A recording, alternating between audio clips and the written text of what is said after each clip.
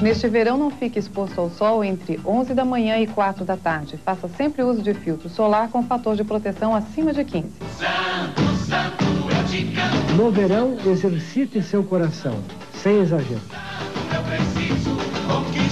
Curta bem a sua temporada, visando uma alimentação leve e saudável.